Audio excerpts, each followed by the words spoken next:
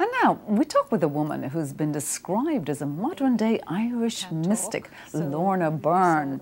Her book, Angels in My Hair, in which she describes her experiences with the spirit world, has been a long time bestseller in Ireland and the UK and has just been released here in the US. When I was two years old, the doctor told my mother I was retarded. When I was a baby, my mother noticed that I always seemed to be in a world of my own. Surrounding my mother, I saw wonderful, bright, shiny beings in all the colours of the rainbow.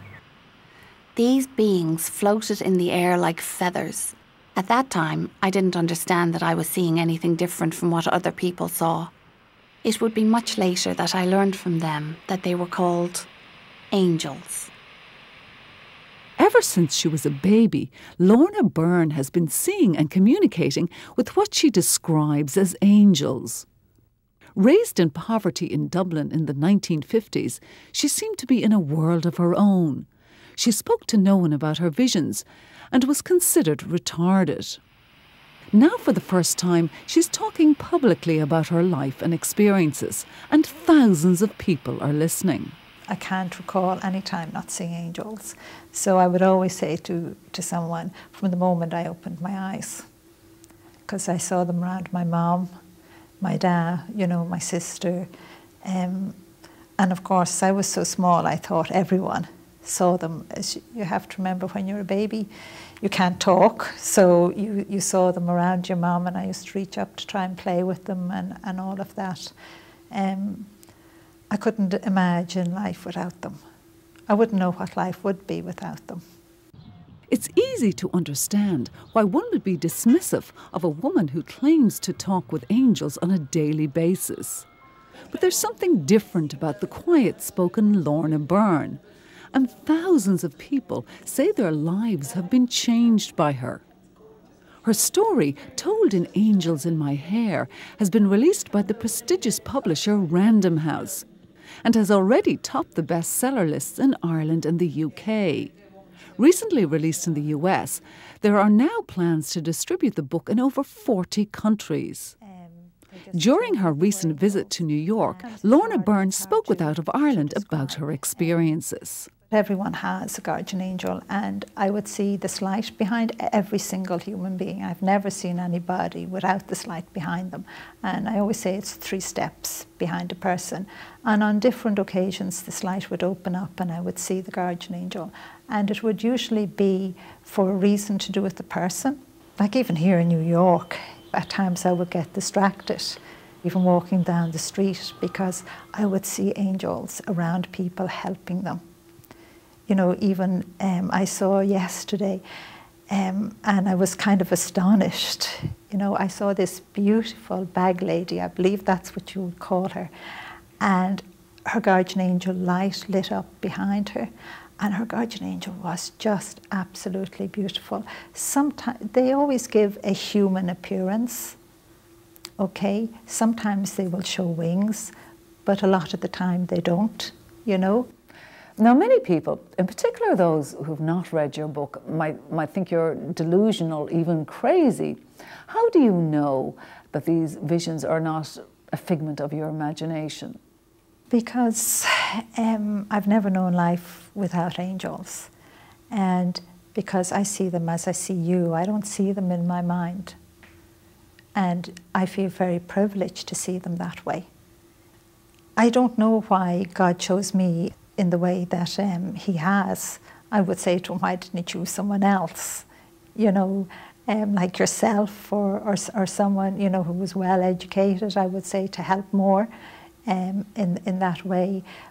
But anytime I have asked that question, I, I was told um, it, that God wanted to keep me and the angels from becoming uncontaminated, contaminated in any way, so, so that I could do this. Now, what do you believe is the purpose of these angels and what do they have to say? They're here to help us in literally every way, and that goes right across the board. That is even to to bring peace, to heal us physically, to heal us spiritually. It's even to help us walk. You know, it's to help us actually do every to achieve as much as we can within our life you're never, never alone because your guardian angel is there with you every second of your life. Your guardian angel is there with you from even before you were conceived and is there with you even when you die and even when you pass over to help you to do all of that. And they are there to comfort us in every single way of our life. Even when you're feeling sad and lonely, you know, your guardian angel is right there, sitting beside you or, or wrapped around you. They're doing as much as they can to, to comfort you, to give you the feeling, you know, that you will get through through this. And I think that is wonderful. Would you consider yourself a very religious person? No, I don't think I'm any more religious than anybody else. I know I have great faith. I know I'm, I'm a Catholic because I was born in Ireland and most people were Catholic in, in Ireland. Um, but I think if I was born into another religion, I think God would have me doing the same thing. So angels, as far as angels are concerned, it doesn't matter what religion you are? No, no. Um, I see angels with everybody, literally everybody. Now, why do you think these angels reveal themselves to you and not to anybody else? But they are communicating with you every single day. It's just that the human being doesn't recognize it or finds it hard to recognize. Um, I would say to people, it's that gut feeling you get about something that's happening in, in, in your life. Or some people would say it's that intuition. It is, that is your, your angels talking to you.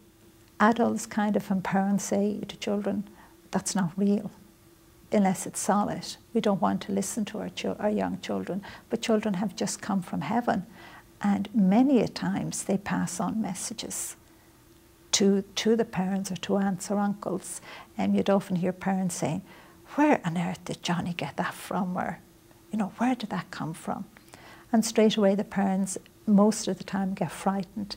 So they, they say something cross to the child that the child eventually learns, I mustn't ever. And then they lose that ability because they close it off. You know, when, when we should be using that gift more and more. Your book has been a huge success in Ireland and the UK. Why do you think it's been so popular? Well, I can only tell you what now, what feedback I have got from people that um, have already read the book, and they do say they get great comfort for it. They say they become spiritually aware, spiritually awoken. They tell me that it has changed their life, it has made them look on life differently, and always for the better.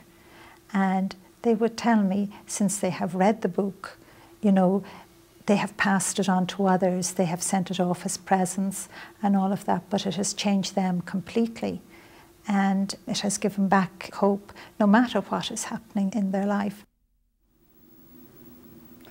Again, the name of the book is Angels in My Hair by Lorna Byrne, a huge success in Ireland and the UK, and now released here in the US.